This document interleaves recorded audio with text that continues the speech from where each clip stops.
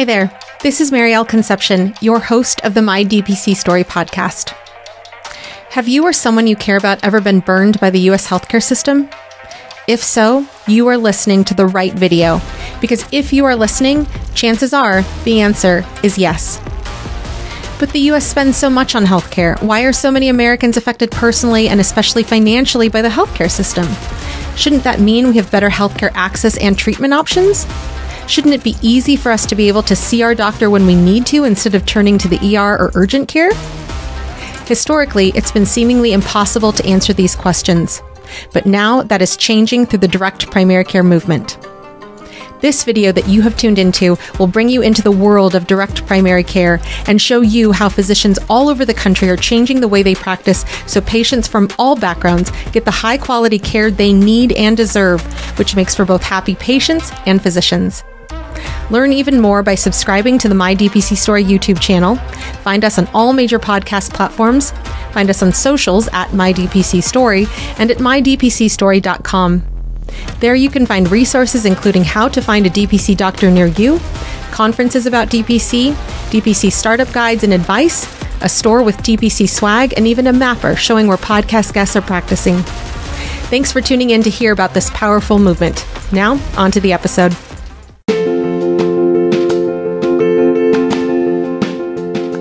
Direct primary care is an innovative, alternative path to insurance driven healthcare. Typically, a patient pays their doctor a low monthly membership and, in return, builds a lasting relationship with their doctor and has their doctor available at their fingertips. Welcome to the My DPC Story podcast, where each week you will hear the ever so relatable stories shared by physicians who have chosen to practice medicine in their individual communities through the direct primary care model. I'm your host, Maryal Concepcion, family physician, DPC owner, and former fee for service doctor. I hope you enjoy today's episode and come away feeling inspired about the future of patient care, direct primary care. So, direct primary care to me is a modern approach to old fashioned family medicine. It is breaking down the barriers and things that get in the way of the doctor patient relationship so that we can focus on what really matters for the true health and wellness of our patients, for their families, and for our community. I am Dr. Christina Gonzalez of Hope Family Medicine, and this is my DPC story.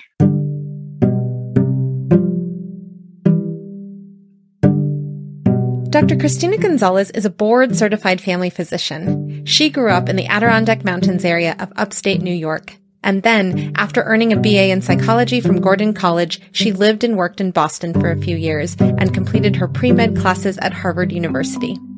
Then she headed off to medical school and graduated from New York College of Osteopathic Medicine just outside New York City. She then went on to Kansas to train at the Via Christi Family Medicine Residency Program. While she is far away from where she grew up, she loves the life that she's built in El Dorado, not El Dorado, Kansas, with her husband Pablo and their gaggle of children. When not seeing patients, you might find her chasing after her kids, cooking, enjoying time out on the lake, or going on adventures with her husband and kids. Welcome to the podcast, Dr. Gonzalez. Thank you. I'm really glad to be here you have had such a unique journey because you grew up in New York and along your medical training and your medical journey to opening up your DPC, you've had experiences overseas. So can you please share with the listeners about your journey in medicine that led you to eventually learn about DPC?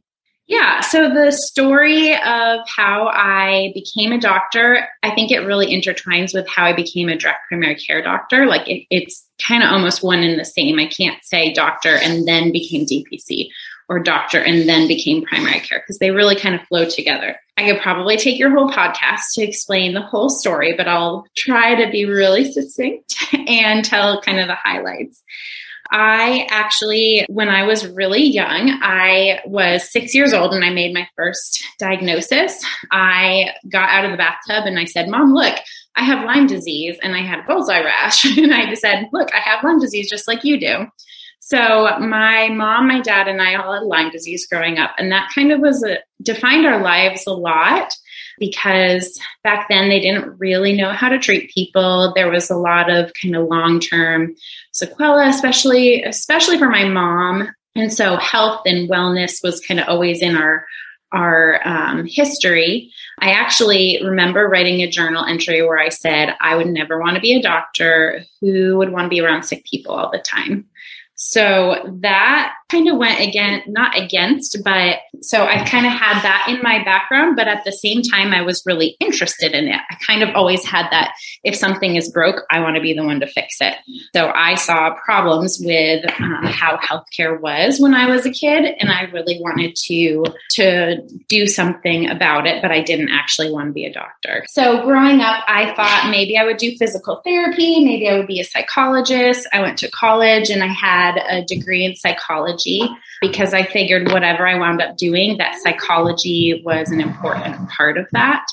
And so I graduated from college with a psychology degree and uh, moved to Boston. And when I was in Boston, I I went on my I went on a mission trip with my church, and we went to Ethiopia. And what I will say is this: there are kind of two big defining, I guess, three things. So when I was in that kind of defined how I discovered what my like vocational purpose in life was. I remember learning about Maslow's hierarchy of needs. And I remember learning that physical needs were at the bottom of the pyramid. If you remember, it's like a pyramid, and at the top is self actualization, but physical needs were at the bottom. And I am a Christian, and so my faith was important to me, but I never wanted to be a missionary. I didn't want to be, you know, out there evangelizing sort of thing. I wanted to address, I guess I always knew I wanted to like show love rather than tell love, if that makes sense. So, Maslow's hierarchy of needs in eighth grade. And then in college, I there was a quote by I think it's Frederick Buckner that was our theme for we had a I think it was convocation one year where it said the place that God calls you to is where your deep gladness and the world's deep hunger meet. And so I, at that time, I didn't really know what I wanted to do, but I knew it was going to be helping people. It was in healthcare and it was definitely not a doctor.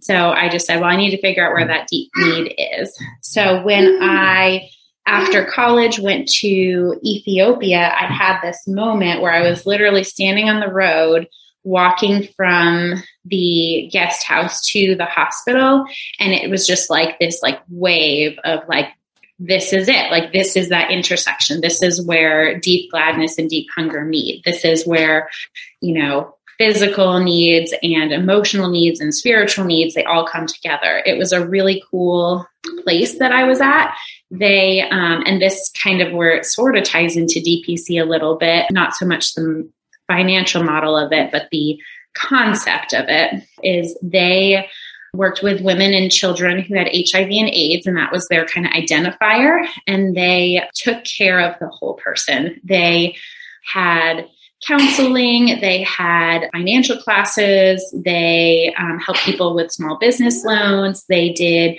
peer to peer counseling. Basically, they just they initially had started out as an HIV AIDS organization, but then once HAART therapy came out and they were able to help people live longer, they said, we really need to just not be a hospice program essentially, but be a program that takes care of these people. And it just changed lives. And so I was like, gosh, if I could do this in the United States, not that I didn't want to live in another country, it just kind of was like, well, if I could do this wherever I wound up, that's what I want to do. Like it where where people recognize that physical needs and psychological needs were equally important and equally affected each other. So so that trip was pretty amazing, but what was actually kind of the funny story about it is that on my flight back I had this true epiphany. Like I was like, this is what I need to do. And, you know, I guess I'm supposed to be a doctor, even though I never wanted to be. But on my flight back, there was a doctor. His name was, I think, Dr. Irv or Irving, and he was a doctor from Texas. And in hindsight, I can see he was burnt out. He was like burnt to a crisp. And I remember being on the plane, and this was, you know, what is that back in 2006 2007 being on the plane on the flight back i said gosh i'm, I'm thinking maybe i want to be a doctor and he launched into this 10 point you know lesson on all the things wrong with healthcare about you know documentation and insurance and and administration and all these things that were wrong with healthcare and ended it by saying, and if you want to go help the poor, then you should just be a PA. That's good enough.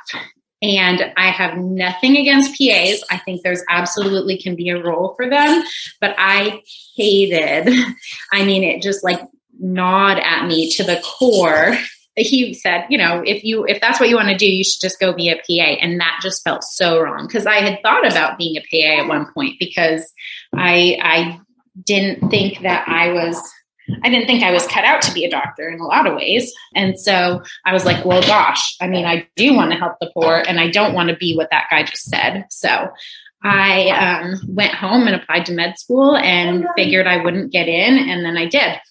So that's how I became a doctor. I think maybe that didn't fully answer your question because I totally tangented. this is another example of how this podcast is really highlighting the individual journeys of these of DPC physicians all over the country because the journey that we all take to get to being a part of the movement is is absolutely unique for all of us and when you talk about what you saw and what you didn't want to see. And, you know, this idea that how could you have expected to sit on doc, to sit next to Dr. Irving or Dr. Irv on the plane? It's just, it's, it's pretty crazy how all of that happened. And, and, you know, the, the idea that at the time you were in Ethiopia, you were seeing the transition from them thinking about HIV as a chronic disease rather than as a, a life ending disease like we used to, to it's just, you know, it's, it's great that you were in these places at the right time and that you had your epiphany. And so I want to ask now, after you applied to medical school, you thought you weren't going to get in and then you got in. Yeah. How did you end up learning about direct primary care as a business model and as a, a type of model that you wanted to pursue after residency? Stay with us. We'll be right back. My DPC story just hit 100,000 downloads on Apple Podcasts alone, and we could not have done it without our amazing listeners. So, to thank you and to celebrate this milestone, we're giving away an incredible DPC Summit prize package for the DPC Summit happening in Minneapolis this summer. The prize includes My DPC Story swag, and on top of that, the prize also includes a ticket to the DPC Summit check out my interview with Dr. Jeff Davenport, where you'll hear more details about the summit. To be eligible for this giveaway, all you have to do is first rate and review My DPC Story on your podcast listening platform. Pro tip if you rate My DPC Story with a five star review, it helps the visibility of the podcast and it helps others to find all these DPC stories. Number two, take a screenshot of your review and email it to support at mydpcstory.com. You'll find that email in the show notes as well. And third, make sure you're following My DPC Story on all your social media platforms Instagram, Facebook, TikTok, YouTube, LinkedIn, and Twitter. All the social links are at the bottom of mydpcstory.com and also in our show notes. For bonus points, share both this episode and the My DPC Story posts about the DPC Summit with your community. The winner will be announced in a future episode, so make sure you tune in to find out if you'll be heading to the summit. If you've already purchased your ticket and you're the winner, My DPC Story will send you a check for the price of your ticket. Thank you for listening to My DPC Story and best of luck. Yeah, so I went to medical school in New York, and but I found out about this program called Via Christi, which is in Wichita, Kansas, and then I um, I actually met Nick Thompson um, as a med student, and he told me I said, "So what do people do for fun there?" And he I joke about this with him all the time. he said, uh, "What do people do for fun there?" And he said, "Well, we have a really nice YMCA," and that was the saddest thing I'd ever heard. it's like, really, you're going to try to convince me to move to Wichita because of YMCA. Anyway, so um, I proceeded to try to find a program that was similar to Via Christi that had that that kind of cowboy mentality where you learned how to do everything and you were like a family doctor who knew what you're doing rather than a family doctor who was like the bottom of the barrel couldn't get in anywhere else. So i was like i can find that anywhere else. And i couldn't. So i wound up going to kansas and said i will be there for two three years tops and then i'll get out of there. So probably my second year of residency Nick Thompson said that he was going to have like a pizza dinner with people, these people who had this different kind of healthcare. Um, there was this guy who was supposed to be special and famous or something like that with this program called Atlas, and he was going to be in town. So that was how I first heard about DPC, and I didn't go to the pizza dinner.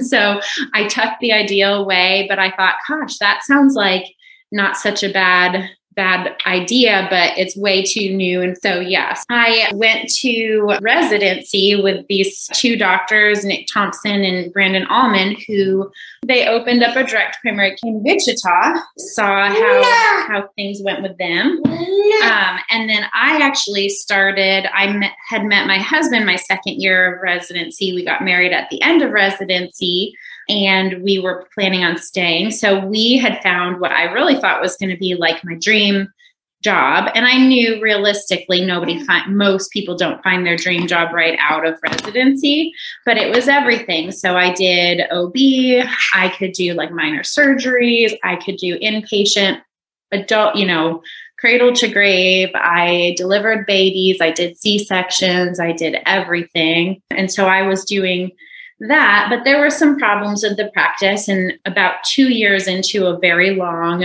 contract that I would never recommend anybody else ever do a contract that long, I was starting to think maybe my practice wouldn't wouldn't be able to support me and then wound up not actually doing anything with it just kind of tucked it away in the back of my mind and at that, I went to lunch with them. And at that lunch, I was saying, like, hey, maybe at some point, maybe you'll have a job opening for me. I'm kind of thinking, you know, that seems like a really good idea. Now you've proven that you haven't, you know, gone, you're not starving, you're doing okay. and they said, yeah, well, let's see kind of what it, what is possible at that point. But you should really think about doing your own practice. And I was like, huh, no, no, no no, no, no. Do you understand? Like, I am a doctor, I am not a business owner. So I completely like wrote that idea off. So that's how I, I found out about it. What eventually led to the decision to open up Hope Family Medicine? Yeah, so I um I should have clarified. I live about 40 minutes, half an hour, 40 minutes from them. So I'm kind of like they're the big town, but where we've got a whole lot of farm in between us. So I was kind of going along, and um, at the very beginning of uh, 2020, I found out I was pregnant with our son. And then shortly thereafter, I, um, in the very end of March, it's actually a, a, pretty awesome story that I love to tell people is that I um, I had actually gone back up a little bit further in the fall. I went to um, Nuts and Bolts in Orlando in 2019, and I went there with this like not 10 year plan, but like this two year plan. Like I'm just going to learn everything. I know I want to do DPC, but I did not want to open my own practice but I had that kind of idea in my head. Then, so I, that was what, November of 2019. And then we found out we were pregnant, and then this pandemic hit. And in March, we have these good friends who own a whole bunch of businesses in town and they will periodically they're actually patients at another dpc in the in wichita and they knew that i sort of had this idea and they're really supportive encouraging so they said you should open a dpc here and you should rent out this building that we have for your dpc and i said well that's nice but you know I'm not going to do that. and then they said it again. And I said, well, that's nice. I don't think I'm going to do that. And then they said it again. I was like, that's nice, but I don't see that happening anytime soon. So in March, they said something to my husband instead of me. And so he said, sure, we'll go see this building. And I said, honey, I told them no. you why did you say yes? You should have checked with me first. So he said well there's no harm in going to look at at this building. So i said okay fine. We'll go look at this building on my day off on wednesday. On friday i said man i think something's happening. And then on monday i no longer had a job. So the timing was just amazing oh. that i went to this place and i said yeah that looks wonderful. Like we'll do just these tiny little modifications, but it's not going to be anytime soon. So just think about it. And then literally, it was less than a week later that I suddenly was like, okay, well, now I don't have a job. So um, let's just do this. So we thought to ourselves, at the time, you know, I was pregnant. Nobody knew what really at that point how safe it was for pregnant women and COVID. And I wasn't going to go start another, like try to get a job, but we couldn't afford for me to not have a job. So we said, well, let's just, you know, do some telemedicine to get by and like hustle and try to put something together. And really, our question was, do we want to open before I have a baby or after? And I decided it would be way less stressful to just open the practice first than to try to be worried to I didn't want to spoil the the newborn phase with opening a practice so yeah so that was in april may and june. Actually by june i was already ready to open my practice but i the building wasn't ready yet. So i spent i hustled for two months. And so i don't really know what it was that made me switch. I think it was just i think that was probably it was that it just seemed like i don't know that it was even a conscious decision as opposed to mentally like they just everything just like lined up right and it just felt like the right thing to do. So i have always operated under the impression that like well we'll just figure it out. Like we'll if we're if that's what you know if i feel like this is what i'm supposed to be doing then i then you know god will take care of it. We'll figure it out. And and so far that's that's proven true. So. That's so wonderful. And i think that you know, for especially for people who are listening who are in that space of like, ah, I'm a doctor, I'm not a business owner, but I'll learn about DPC. You know, it's it's I was in that same place of like I, I eventually want to open up a DPC, but it's not it's not now. And then for me, it was when I got threatened with being fired. It was like, oh, this is the day that I'm going to make the decision to do DPC. So I just I say that as, you know, as a reminder to people collect all the information you can because you never know if the time is right for you. You'll be armed with all of this information and empowered to be able to make decisions towards, you know, making your own DPC potentially. And I'll say that the business aspect of owning a practice, I that was what I was most fearful of and I have loved it. Like I would never have thought it. I know someone recently said something about I forget the word, but somebody who like continually likes to learn new things. And I, apparently that's me because now I'm just like devouring everything there is to know, not about not just about like a deep about DPC. There was that season too, but now it's like business plans and not even business plans but like the you know how to run a business well. And i just i've loved learning it. I really have. So i would never have thought that i i mean never have thought that i would want to do that. I remember when i started at my previous uh, employed position he said something about my my contract lawyer said something about putting a provision in there to become a partner. And I was like, well, you can put that in there, but I don't want to be a partner. I want nothing to do with the business of medicine. And now I'm like, hey, let's talk all about the business of medicine. I want to ask about Hope Family Medicine, the name and where it came from, because on your website you do share a little bit about the history of the of the clinic's name. Yeah. But I would love if you could share with the listeners how Hope Family Medicine came to be. Yeah. So one thing that my patients know is that they, I'm always, I've always been very open with them, and I'm not afraid to share my story as a patient as well as my story as a doctor. So they, I think that's something that my patients really, I mean, I know it is because they bring it up, but they really appreciate that I'm. They feel like I relate to them and I understand where they're coming from. You know, I was just talking to an OB patient of mine uh, this week who is stressed out because she's post dates and doesn't want to be induced and and they they just said gosh i just feel so much better because you can tell me you've been there you've been this and you you understand. So um, so i've always been really upfront about kind of our medical stuff. So i have it right on my website that when my husband and i first got married um, pretty soon after it was actually just a couple weeks after i started my first real you know job where i am in my town now um, that we found out we were pregnant. And it's crazy because i knew from the beginning of that pregnancy that it was not there was something wrong. We didn't know until our like our 18 week anatomy scan we found out that i had an incompetent cervix. So long story short we wound up having a, a very very dramatic very complicated very hard first pregnancy that wound up with me, us having a stillborn, and me winding up in the ICU.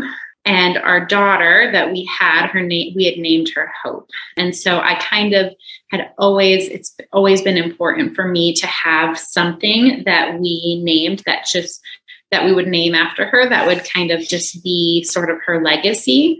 And also, I think just the name, like I didn't want, because we knew her whole pregnancy that we were to it was unlikely that it was it was just a hard thing that people could get really depressed and down about. And we just said no we just have hope. Like we just it's to be okay. And even though i did not think that she was to make it and she didn't. But so um, i think hope signifies a lot.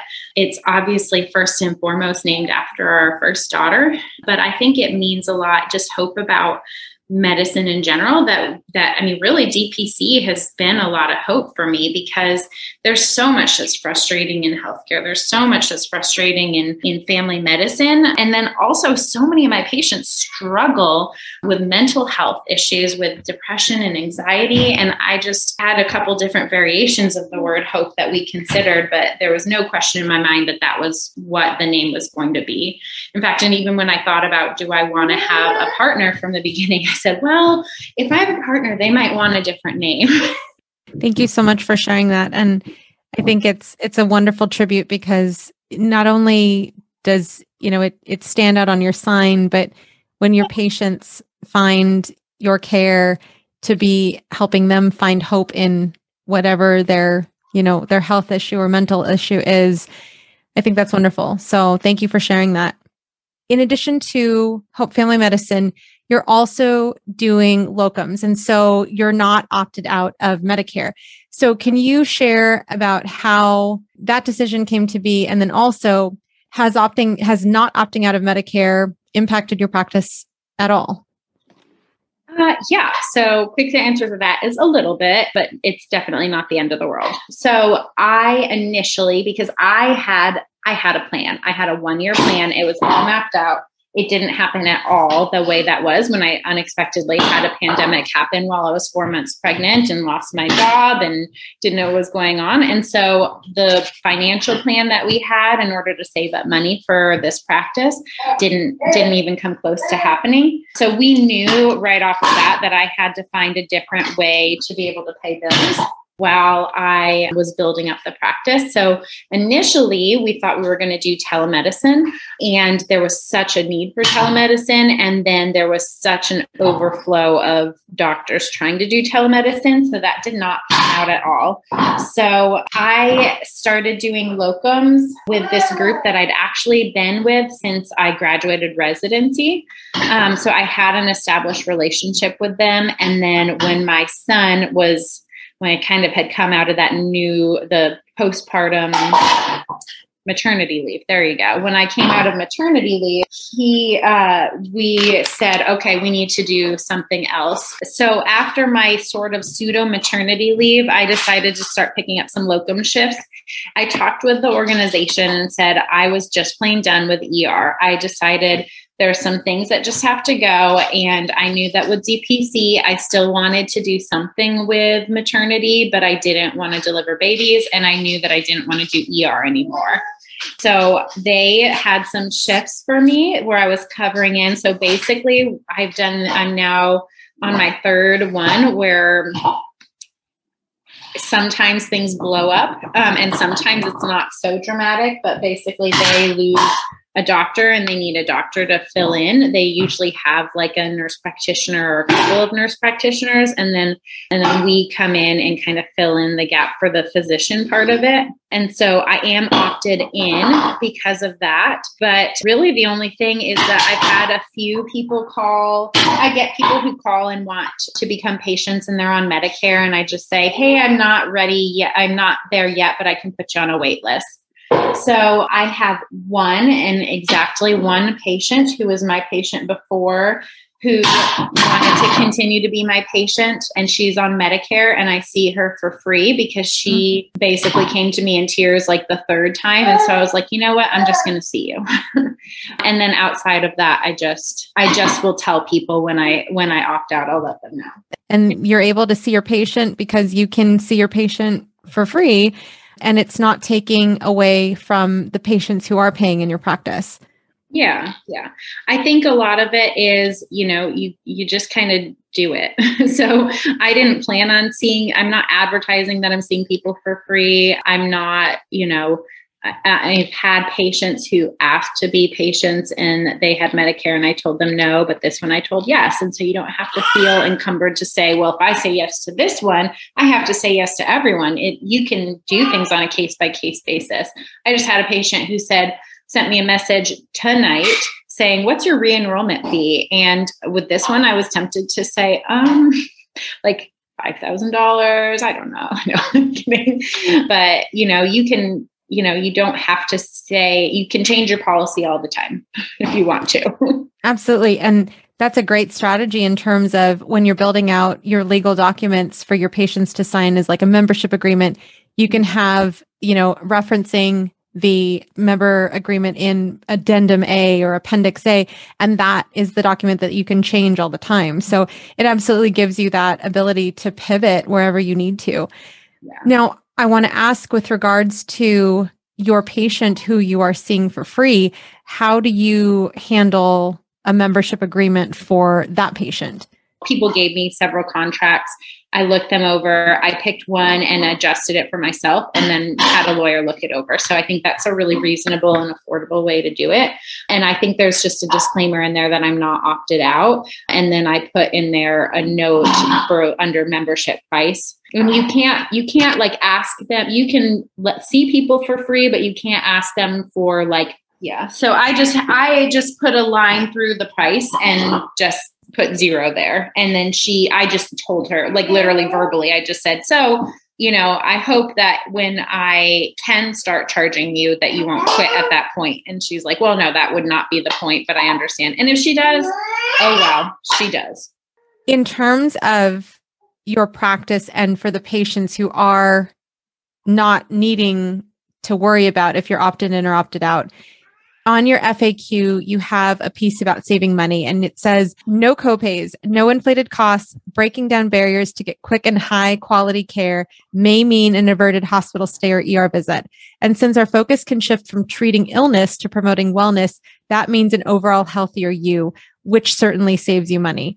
So I wanted to ask there when you have had patients come to your practice how have they found you and how have you explained your value proposition to people about hope family medicine given that you're you know in the midwest only 40 minutes away from antioch? It's been a smattering. It's pretty much i'm in a small town. It's kind of big news. It's not tiny town so it's not that real real rural but it's a small town where people not everybody knows each other but word spreads fast. And so in our town we have one two three family practices outside of mine, and then an internal medicine, and then a solo pediatrician, a surgeon, and two OBGYNs. So just to get kind of an idea, we have, we're the county seat so so we have a hospital and it, it's a small community hospital. It's not a critical access hospital but everything is all in one spot. They said that there have been people in the past who haven't been in the hospital but so i disappeared for a few months. People thought that i left. Some people thought that i was having pregnancy complications but kind of people knew that i left And then people knew that I popped up in a new place. And so I think that word spreads pretty quickly. But even so, I get people now who are like, oh, I didn't realize you were still here. I just went to a community event today and I had somebody who was a former patient. Hey, like you're here. so I think a lot of my patients, it's word of mouth. A lot of them have said they found me on Facebook, which is funny because I don't, I'm not very good at all or consistent at all at, at, social media. And then I have an employer group. I have some people who were patients at Atlas or Antioch or some of the other DPCs in the area mm-hmm. who just were excited that I was close because that they liked DPC, but but it was a trek. So to get to the big city. How often do you have patients then who don't know about DPC and how do you talk with them about your practice? So I would say some do, but the majority of time they don't. I have had people who there's a, a, registry on the hospital website of all the doctors. I've had several patients who've called me up just saying, I'm new to the area, I'm looking for a doctor. And I say, Well, are you aware that our practice is different? And they're like, no, I was just calling you from the list. And so I say, okay, well, here's what our practice is. And they'd never heard it before. And I've had patients sign up as members. I think probably the majority of time when that happens, they're uninsured patients to begin with. A lot of times people, yeah, I think that's just where it is. So sometimes people will get, if they have Medicaid, they'll like call the name on their card or something like that. But if they're uninsured, they just kind of cold call. Or the urgent care has um, passed me a few patients, but they passed me patients saying, "Hey, you don't have insurance. Go to this doctor." so, so I do sometimes have to do some re-education where they think that I am the doctor for people who don't have insurance, but they don't really understand you can come here if you do have insurance or this is not fee you know it's not a cash based doctor it's a direct primary care doctor. It's not a one time. They say well do you just want to see me? You know can i just see you one time? But overall i think people I, I have a pretty decent i think conversion rate i really just say hey you know I'm a family doctor. I think being a family doctor is really valuable. And part of that is knowing my patient. So I think if we really want to get to the root of this problem you just told me about, I need to know you. And it might not take one visit, it might take a couple visits. And then once we get through that, you might have something else going on. So, you know, if you pay this monthly membership, one or two urgent care visits, and that's a year's worth of your membership. And you can come in as many times as you need to in order to get your problem solved and get you back to back to healthy. Yeah. So I think that goes over pretty well with a lot of people. With you mentioning urgent care, how much does it cost for an uninsured patient to go to your guys' local urgent care per visit? So it's, I think it depends. It depends on what it is. So our urgent care in our town is through our hospital. So they just bought a location and opened up an urgent care like on the fly a couple years back. So it's basically it's run by APPs and um, it's kind of just like a mini branch of the hospital. It is in a separate location though, but they it depends on on what it is that they go in there for. I've had patients sometimes tell me what what it is, and it's I just kind of put it in my head as a ballpark of three four hundred dollars if people are listening and they they weren't aware because I wasn't aware until I heard this from my lawyer Apollonia Udell that you can actually call the urgent care locally and just ask how how much does it cost for me to be seen at the urgent care because I don't have insurance? And so at our urgent care locally, it's $247 to walk in the door and then if, depending on the codes it goes up from there. So it's a it's a good tool to have in your in your decision box as you're building out your business. Yeah. Yeah. I just ballpark tell people two trips to the urgent care because actually, I'd say a lot of times when someone comes to me from the urgent care, it's when they went to the urgent care, they didn't get better, they went back to the urgent care, and then they were told to come to me. So I say, you know, those two trips to the urgent care equals like a year's worth of membership. Yeah.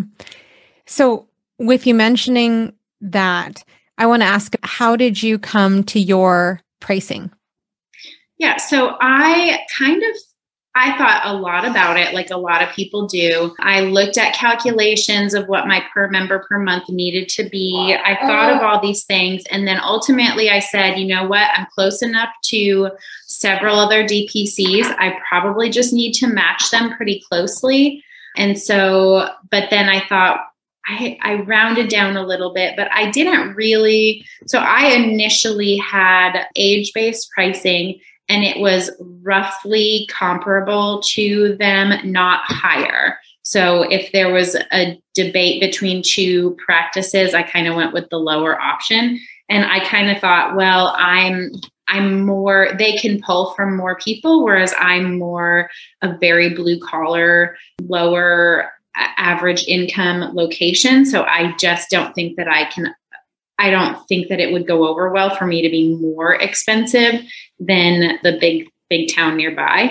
And so initially I was age based, but I didn't like the idea of age based. Said, you know, if you're, I mean, even in fee for service, you know, uh, a 99213 is going to be a 99213 no matter their age. When I hit the one year mark, I, I flipped it to be just child, adult, and family. I really wanted to simplify it. I wanted to be able to say in a one-liner. That's how I wound up switch switching it a little bit. I actually considered switching at six months, and I posted it actually in the DPC women's group and got I think basically people said don't do it yet. I, they, that's not what they said, but I read between the lines, and it's they basically said it doesn't sound like you need to switch. So I didn't, and I'm glad that I didn't because I got my first business then. And so I like exploded, I almost doubled like overnight, literally on January 1st. And so I'm glad that I didn't switch it then. But what I found was I had, I I still do have a majority of like single people, not single, but you know, one person in the family or a single person. And I really want to take care of family. So I wanted something that was, I wanted to change it up so that because I realized I'm really good at giving out discounts and things. And so I needed more buffer so that I could afford those. And I really wanted to emphasize family. So I switched it up so that I actually kept the same Family Max, but the way I think that it was worded on my website, I feel like it was more family oriented, maybe by saying like individual, couple, or family rather than this age, this, this age, this, this age, this, but no more than this for a family by just saying single family couple, you know, single couple family as soon as I made that switch, I had like three families sign up within two weeks. And it was it was awesome. And it also was reaffirming that I really do love taking care of the whole family. So that's been nice. That's awesome. And in terms of your demographics, can you break down your patient population for us? Yeah, so right now I have about 130 patients, and about a third of them our company and two thirds of them are from you know just from the community. I'd say probably half to two thirds of them have i should have specific numbers but i've never been a big numbers person uh, but about half to two thirds of them have insurance.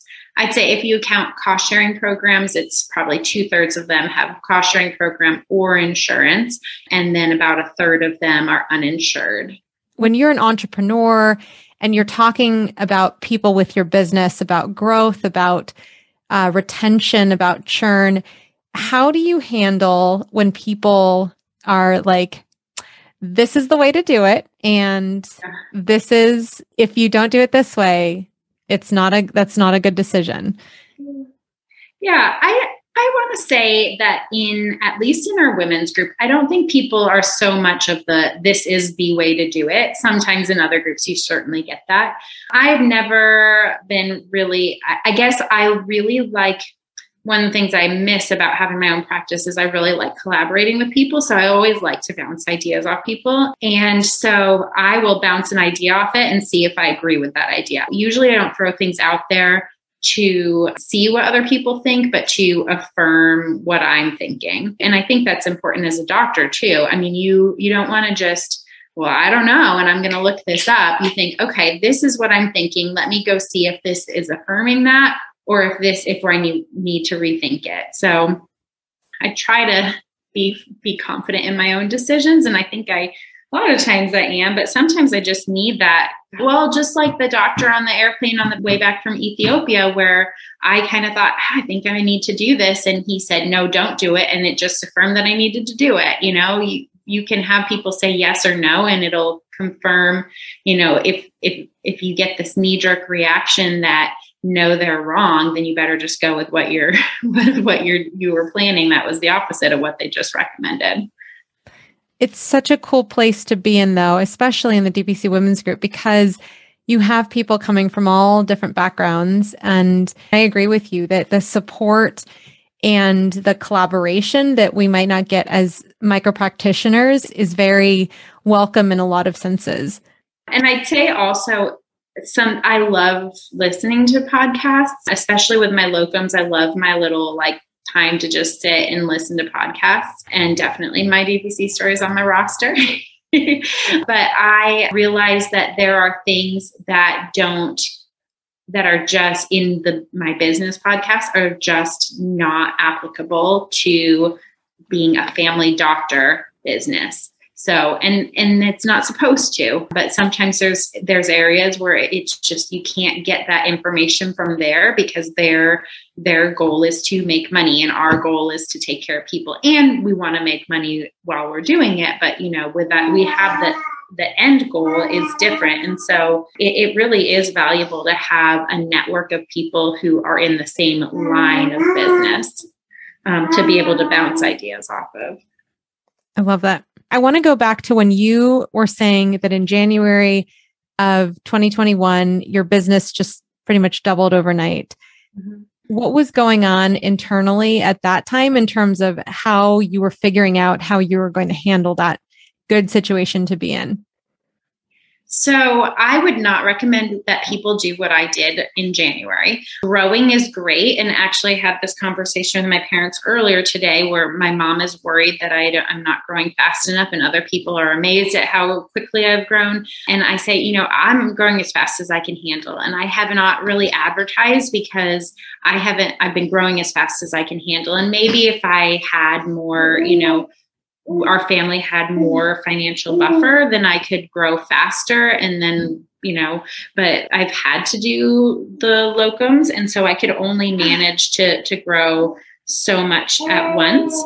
And when, oh. what happened in January is I um, had a, a a oh. company that wanted to work with me and they were bigger than I want they were the mm. higher end and they wanted to start on January 1st. And I'd already committed to ah, starting a new ah, locums ah, job on January. So I, and then for whatever reason, probably because other people had their own insurances start over at the beginning of the year.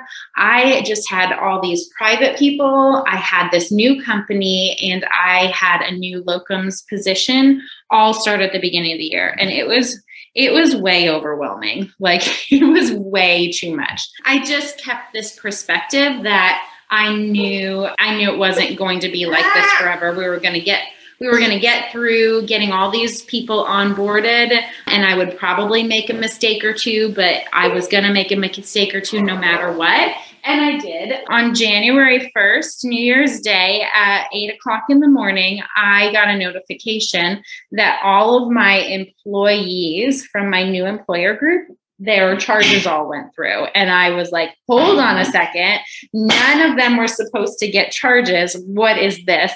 And then I get this flurry of like message, like the, the person who I worked with at the company. So uh, there was a button that you, there was like some place that nobody ever told me about where it was like switched over to the, the patients all being charged rather than the company all being charged. I didn't know about this button until I accidentally charged like 40 new employees all at once. So that was that was an exciting thing. But I have to say the customer support I mean, the guys over at Atlas, they were they were phenomenal. I mean, it's New Year's Day, and by ten o'clock, so that happened at eight. By ten thirty, it was all better. so, That's amazing. Yeah, just amazing, and that is the uh, the common thread over at Atlas and and with Kirk's support. So yeah, so that's that's incredible. Now, when you mention that you were growing as as fast as you wanted as you wanted to and as you could handle. I want to ask about that being a mom of little ones mm-hmm. and having a position in the locums, having your DPC yeah. practice. How do you decide what you can handle? Yeah, so I will say that in high school, I did too much, as I think most doctors in high school, they did too much. In college, someone gave me the idea that you should like not do too much. And i don't know why but i took it really to heart. And so mm-hmm. i always wanted to like create balance and make sure that i didn't overdo it. I said i wanted to do one thing for me and one thing for others in college and that's what i did. I didn't sign up for a million groups. I signed up for one group for myself or one thing for myself and then one thing that was like outwardly focused. And i've always kind of kept that principle. I love the concept of like work life balance is not 50 50. It is like being present where you are and being focused on the right the right thing in that moment where when you're here you are here now like be here now. And and that will go through seasons where we need to spend more time on this or more time on that. So we may need to be more in work at one time and be more in home at another time. So i balance like a teeter totter. It is it is just focusing in the right places and and also just having that margin these are i think all things that are hard concepts they may be easy in um, in concept, but in actually applying it, especially with the typical doctor mentality of like, I can do that, I can do that, I can do that. It's a hard thing to do. But I have gotten very comfortable with saying no. Like, I waited a long time for this family, and I am not going to miss these moments with my kids. Or I waited a long time to meet my husband, and I'm not going to, you know, these are priorities for me. So it's even though it, I would say it's absolutely a busy season in life, I still feel like I am I'm ch- get able to choose the time with my family that I want. So one of the things that I'm struggling with right now is with locums. I'm away overnight and I hate that because no one sleeps. No one sleeps. I don't sleep because I'm worried about them. They don't sleep because I'm not there. My husband doesn't sleep because they don't sleep. so it's hard. But at the same time, I don't feel like I'm missing out on their life because it's a you know tuesday morning and it's my you know daughter's first day of preschool and i'm there i'm not you know rushing in and um, the daycare that my kids are at right now i didn't go to them when i was employed because they pickup was 5:30 and my husband worked his hours were later so I knew he couldn't do pickup and I couldn't get off for pickup at 5:30 and now they're there and I am out the door at 5:15 so I can get there for pickup at 5:30 and that's something that like I literally couldn't do it before and now it that's just the way it is and that's the priority. And I feel like that's important. So that's what's happening.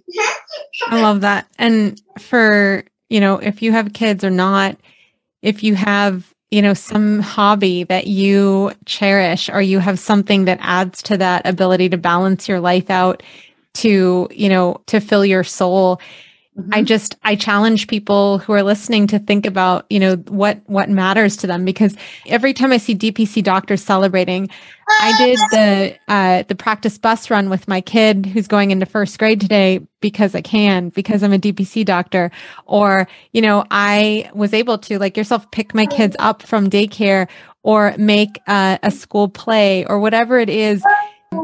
Clearly those examples are family related, but the idea to uh, the to have the days and the hours that you choose. So empowering compared to a lot of employed positions where like you're sharing you you don't have that autonomy to make those decisions all the time in employed positions. I just had a conversation with my husband about going to visit my family back on the east coast.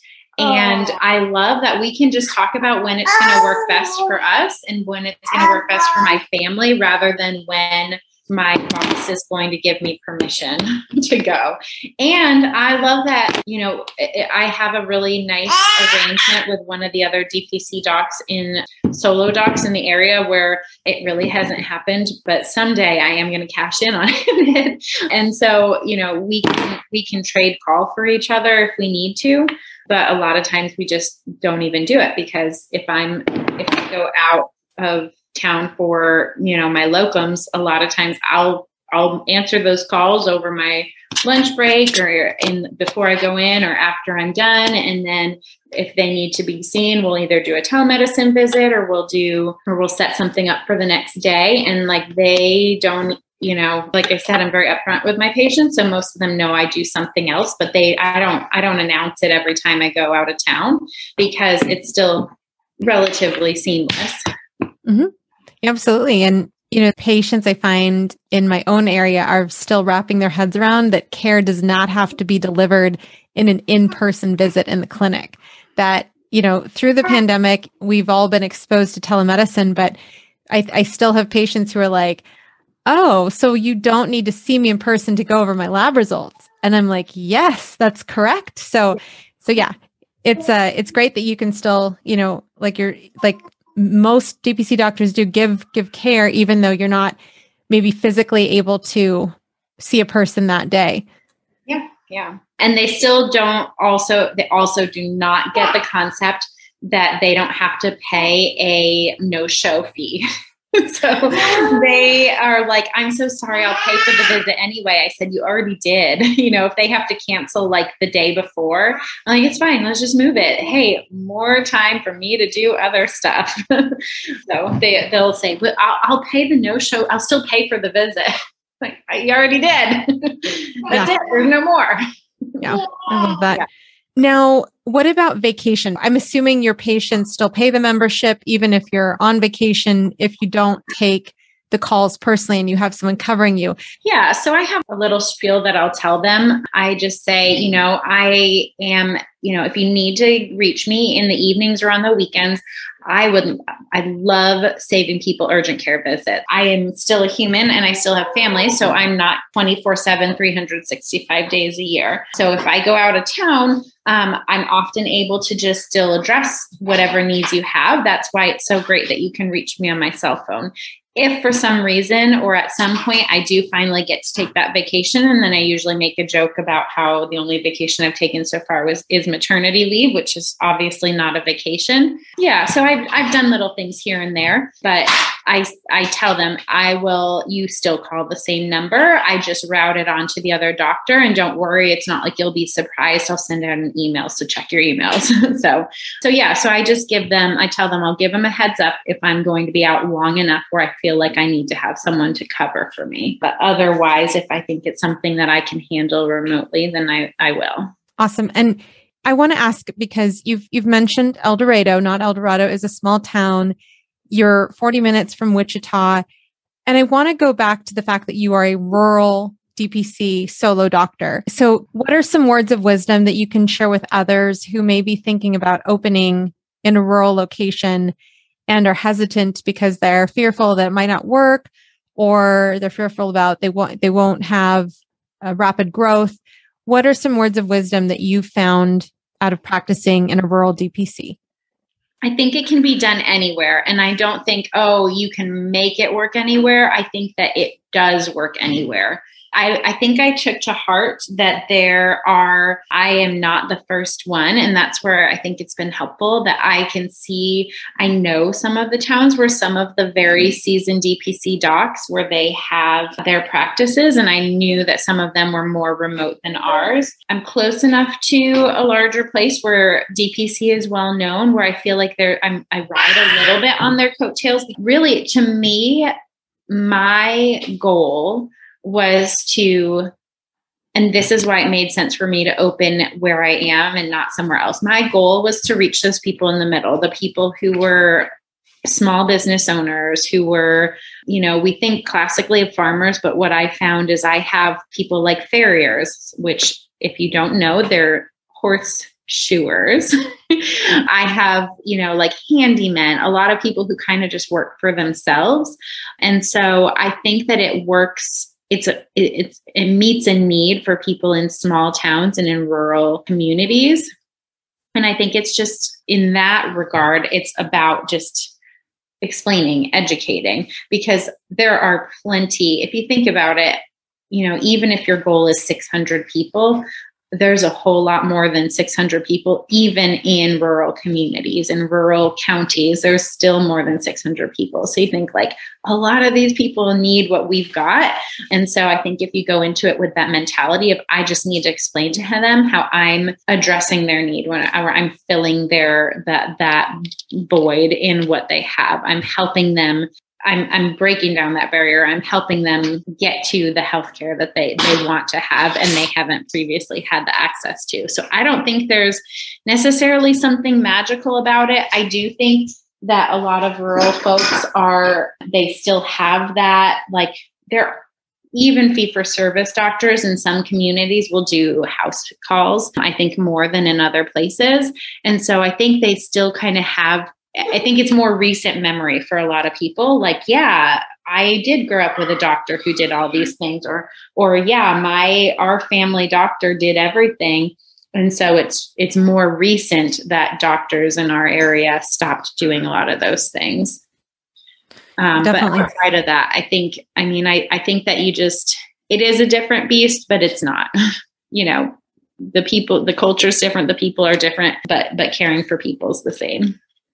Growing up in Sacramento, which is a very big town compared to my town of 4,000, I completely agree with that because, you know, you, even if you, in our town, for example, and I'm sure it's the same in El Dorado for you, like if your car is not in your driveway for a few days, like people start asking, like, "Oh, are they on vacation?" You know, so oh, it's yeah. uh, it is a very different culture, and this idea that when you're sharing that, like, you're giving people the health care that they you know deserve and are and are looking for. It's you're going back to you're giving them hope that they can have the care that they are in need of and well deserving of. So that's great just a little funny story about that. So we, this is how I knew I was in a small town. Is that our postman? Um, he knew that we were opening the practice, and he knew that I wasn't like in there all the time. So he's like, "Hey, do you want me to just bring bring your mail to your house instead if I see that the office is closed?" And I was like, "Great, that's wonderful." He's like, "Well, I already started doing it." I was like, "Yeah, I was wondering how that package got in our house." And then the other funny thing is that our the FedEx guy is not local and but he still has that vibe. Uh, there were a couple times where i started getting these sorry we missed you notes on our door. And i was like i don't understand. I was here all day. How could you miss me? I realized what he was doing was i live really close to my office. And so sometimes i'll walk. I like i try whenever i can to walk. And so he didn't realize that just because my car wasn't there he knew my car and it, he would say oh her car's not there she's not there but i was just walking. And so I finally caught him. I was like, hey, you can't just assume that because my car's not there, that I'm not there. so it, it does happen where people are like, hey, I noticed your car was missing. I had a patient yesterday who called and said, Hey, I saw you leaving the clinic. And so I thought I'd just call and update you. I did finally make it in to see my counselor. I was like, great, that's wonderful. Thank you for updating me. I'm running late for daycare. that's awesome. Yeah. Oh my gosh. Love it. Love it. Now, you've mentioned Atlas. What are the tools that you use for your DPC to run the everyday functions?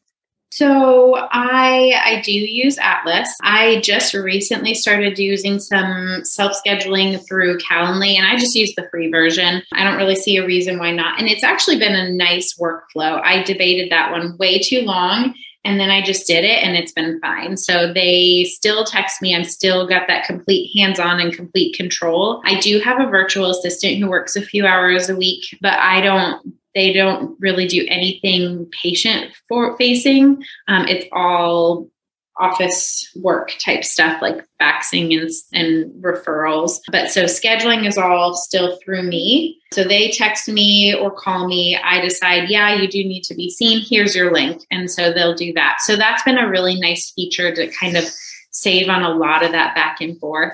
As far as other I guess tech and tools. I do have a Kardia six lead. I like it. It's not a substitute for an EKG. So I, I haven't used it quite as much as I thought that I would or as I started to at first. Never underestimate the power of exam paper yeah, exam paper has come to the rescue so many times for me. I know that sounds crazy. This is not tech or tool, but it is true. So today I went to my first vendor, not vendor event, but like a community event where I actually had a table. I was a sponsor and I couldn't find the tablecloth. So I just got some exam paper and put that as my tablecloth and it worked out just fine. The first day that I did a pap smear in my office, I realized there was a food truck that was set up outside the window and I I hadn't thought to put any window coverings on. So I just got some tape and some table paper and I had an instant curtain. I've had crazy kids and you just rip off some paper and they can color. So yes, table paper. That is my my tech. Um, no, I, I did invest in a good scale, but I'm a pretty low tech office, I'd say. I am very simple. I think it would be amazing to get a butterfly IQ at some point, but I really don't know that I can justify it at this time. I love that. And, you know, everybody has, I, I think that's a genius tip. I, I honestly do because it's a very realistic tip in terms of everyone who's worked with exam table paper can can just picture everything that you just described. I'm going to mention a couple things that I know that the people who I'm pulling these examples from are going to laugh at, but having batteries, like that's a tool uh, to back up your your equipment. Um, having like you know tampons or sanitary pads in the bathroom. That's something somebody had mentioned on DPC Women's group. So the exam table paper is genius and so so useful. Yeah. yeah so wonderful. And oh, I will say it is super valuable having a kids table. So I know with COVID, we there's not tons and tons of toys out there, but I made a a move that I'm going to go ahead and call as genius. Um, I took the the kids corner and I moved it out of the waiting room and put it into the exam room. So now, because you know, when mom is getting her pelvic exam or whatever, that's when you want to have something for the kids, not necessarily when they're in the waiting room where they don't actually need to wait. So we moved that out, and now it's perfect because I've got a little coffee nook that my husband is working on building and there's more room for that and kids are happy in the exam room. So yeah so that that's a big thing. Awesome. And then in terms of resources you had mentioned business podcasts that aren't not aren't necessarily doctor and business combined but what are some of the podcasts that you love in that library of yours when you're listening on your locum's job yeah, so I will say I have uh, so my like just women in business podcasts. I've got BizChix and uh, the Christy Wright Show used to be Business Boutique. When it was Business Boutique, there was a lot of really really great episodes especially the original initial couple seasons where there was some just like gold in there and now she does a little bit more like life advice type stuff but still also helpful and then kind of medical business focused would probably the main one is the social dentist. I listen to her as far as that stuff goes, although I don't know that how much of it I, I'm applying now, but it's all going into the back of my mind for when I have tons more time. And then just I think other things that are interesting. What do I have? Like white coat investor and Paradocs Oh, I think those are some of the big ones. And advice to other physicians who are looking to start a DPC practice. What additional words of wisdom can you say, can you share with them in closing? Yeah, so not anything completely unique or original. I would just say I think that you just need to be confident that you are, you made it through med school and you know how to do this. And just because somebody else did it one way does not mean that that's how you have to do it. And just because something worked for someone else doesn't mean that it works for you. And um, I think that that's something that we are really good at comparing ourselves to other people. And you just need to figure out what's what's right for you, what's right for your community. It's going to be different. I my practice is completely different than the practices that I really, in a lot of ways, modeled myself after, just for the sake of who I am, what my personality is, um, what my town demographics are like, and things that I couldn't have even necessarily anticipated. So I think I think mainly I see people all the time way overthinking. Like, I have to have everything ready. I have to have everything planned out. I have to have this much money in the bank. I have to have all these markers and get all these goals and have all this equipment. I had a budget of zero when I started and I had all these ideas but no plans and I just, you know, that totally cliche like build your wings on the way down. I just figured it out as I went. Like I I mean it wasn't clueless but I just made it happen and I checked in with people along the way. I utilized the resources but I also utilized them knowing that okay, that's how they did it. Now how do I want to do it based off of what they did? So I love yeah. that. And you know, just just being in the space of being about to open, it's I I wasn't expecting it because I've been in too many weeks of just overwhelm with regards to what to finish before opening day. But I feel that what you're saying is really sage advice that you you take what you have learned, you build out what you need to do for your clinic and it it it almost for for me and I don't know if it was the same for you the things that you have to do sort of narrows down as you get more clarity and closer to opening day. Yeah, yeah. You still feel even if everything is perfect and everything is going according to plan, you'll still get imposter syndrome. That's just reality. There's still times where I feel like, oh gosh, I'm not really owning this business. I'm not really this doctor. And then there's other times where I was like, who's telling me not? I can totally do that. That it is because I said it is.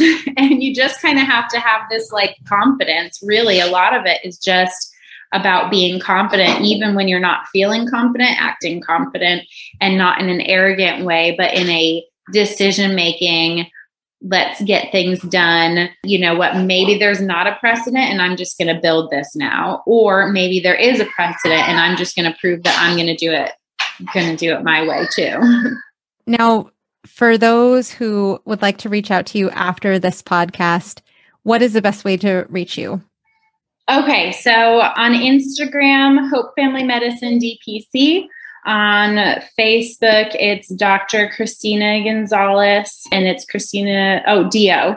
So Christina with a CH and Gonzalez with two Z's, one in the middle, one at the end. Or uh, you can reach out to me through my website, hopefamilymedicinedpc.com. It's a mouthful, but I think you can figure it out. Perfect. Thank you so much, Dr. Gonzalez, for joining us today. Yes, it was so good to talk with you. And yeah, I feel like we're old friends, even if we haven't met. soon, soon we will.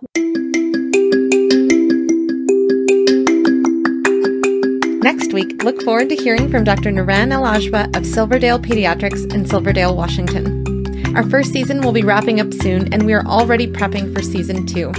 If you're a physician in the DPC ecosystem who would like to be featured, please visit the Contact Us section of mydpcstory.com. And coming out this week will be the My DPC Story Listener Survey.